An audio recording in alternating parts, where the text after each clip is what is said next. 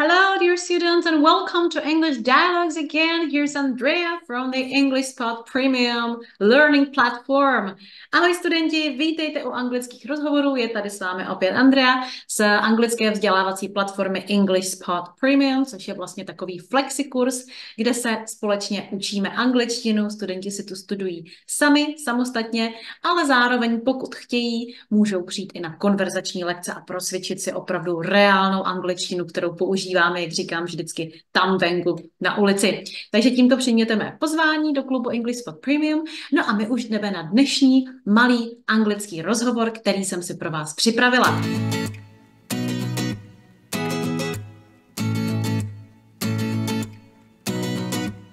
Tak a co pro vás mám dnes? Krásné rčení easier said than done. Co znamená easier said than done? Tentokrát je to velmi podobné eh, tomu, co říkáme v češtině. Když se podíváme na anglické vysvětlení, easier said than done means you are emphasizing that although it sounds like a good idea in theory, you think it would be difficult to actually do it. Takže když tohle řekneme, tak zdůrazňujeme, že i když to zní jako dobrý nápad teoreticky, tak eh, v praxi to bude těžké udělat. A česky říkáme, lehko se to říká, těžko se to dělá, takže to je vlastně eh, úplně přesný překlad této, tohoto idiomu easier said than done. No a pojďme se už podívat, jak to bude vypadat v příkladovém rozhovoru. There is Tom and Emily. Hey, Emily, Have you heard about the new fitness challenge at the gym? They say it can help you lose weight and build muscles in just six weeks. Yeah, I heard about it. It sounds like a great idea. You should totally give it a try. You've been trying to get in shape for a while now. I know, but it's easier said than done.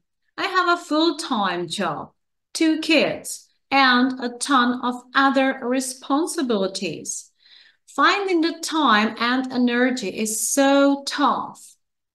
That's true, but maybe you could start with small steps like going for a walk during lunch breaks or doing short workouts at home. That might be more realistic. Starting with small steps is definitely a better way for me. Thank you for your support, Tom. You're welcome. Just take it one step at a time. Tak pojďme si přeložit. Eh, určitě jste zaznamenali rčení It's easier said than done. Máme ho tady tučné v textu. Takže celý rozhovor. Tom a Emily. Hey Emily, have you heard about the new fitness challenge at the gym?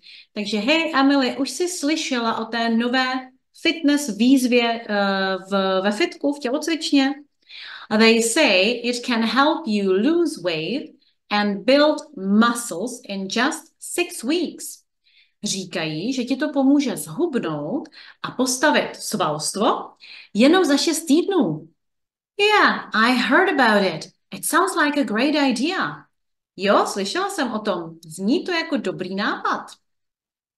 You should totally give it a try. You've been trying to get in shape for a while now. No určitě bys to měla zkusit. Snažíš se dostat se do kondice už docela nějakou dobu. Tady je ještě hezký výraz to get in shape, jo, jako dostat se do kondice. No a Emily odpovídá I know, but it's easier said than done. Já vím, ale lehko se to říká a těžko se to dělá. I have a full-time job, two kids and a ton of other responsibilities. Mám práci na plný úvazek, dvě děti a spoustu dalších úkolů, zodpovědností. Finding the time and energy is so tough. Najít si čas a energii je tak těžké. That's true, but maybe you could start with small steps like going for a walk during lunch breaks or doing short workouts at home. To je pravda. Ale možná bys mohla začít s malými krůčky, jako třeba jít na procházku během obědové pauzy nebo dělat doma krátká cvičení. That might be more realistic. Starting with small steps is definitely a better way for me. Thank you for your support, Tom. Takže Emily říká, no to by mohlo být realističnější. Začít s malými krůčky je určitě lepší způsob pro mě, jak, jak do toho jít. Díky za tvou podporu, Tome. You're welcome. Just take it one step at a time.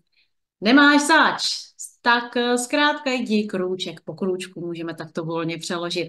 Okay, so that was the saying easier said than done, takže dnes jsme se naučili rčení, že se něco lehko říká, ale těžko se to dělá. Tak já doufám, že ho využijete, že ho zasadíte do své anglické mluvy, protože toto rčení je opravdu very easy and very useful. I think you can use it in practical English a lot. Myslím, že v praktické angličtině ho můžete hodně využít. Thank you very much. Don't forget to subscribe if you like English dialogues. Nezapomeňte dát sledovat, pokud se vám anglické rozhovory líbí a já se na vás budu těšit zase příště.